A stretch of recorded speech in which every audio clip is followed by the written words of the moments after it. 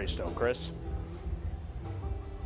I'll tell you, Wrinkle, we spent two days out here, and everyone's kind of looking around, wondering where is Steve Stricker on this leaderboard? Played so well at the Players last week, two wins already on this tour this year.